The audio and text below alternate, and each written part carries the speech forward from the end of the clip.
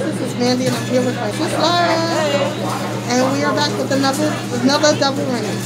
So are you ready to tell everybody what we're ranting about today, sis?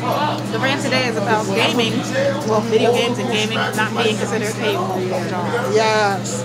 I mean, like, just because of the fact you see somebody holding a controller and sitting in front of the TV, you instantly think that somebody being lazy.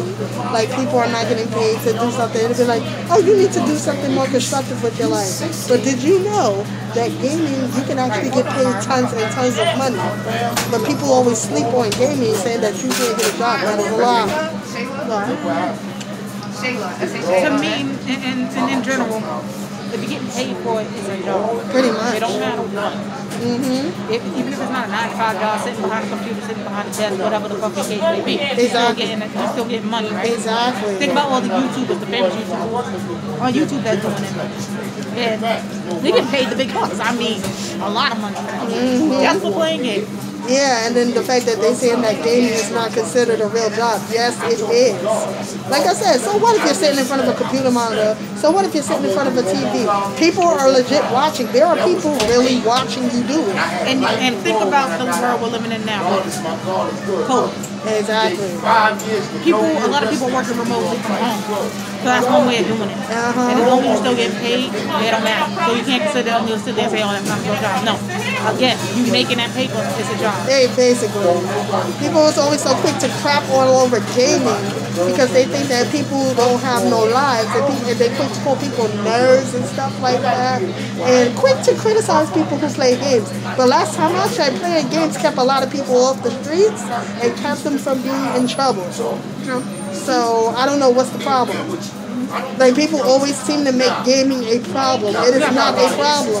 It comes out. It comes off as a negative thing, or hobby, or whatever you want to call it. It comes off as a negative recreational thing. Uh-huh. And if you think about it, there's way more worse things in the world going on than that. Exactly. I'll tell you that right now. Mm-hmm. So like gaming is a job, especially if people giving you the money to pay it. If they telling you to do something online for it, then yeah, it is a job. You getting paid to play with you. You getting paid to play something that you like playing. Sometimes people will choose for you to see how good you are, to test your limits, to see if you can handle the levels, whether it be medium hard, simple, or easy, or whatever. They try to test your skill and your knowledge that's something that's something good. That's something to really think about. That's pretty cool if you ask me. That's a job. It is. That is a job. So I don't know why people sleeping on that. Because they don't. Dumb judgmental bastards. Yeah, pretty much. Yeah, I accept. okay, who's coming? Joseph. Um, so yeah, like don't sleep on gaming because if you um if you do that, then you you know better than the people that stay here trying to judge everybody else. Don't do that. Right? So, what do you think? Yeah, that's me. That's it.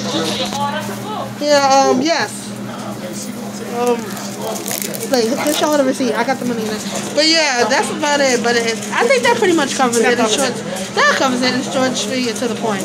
So, if you enjoyed this rant, give it a thumbs up, like, comment, and subscribe to Easterling Amanda for more content and Moonlight Butterfly Miku. Sorry, I'm distracted right now.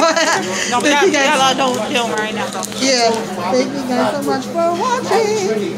And that's the end of our rant.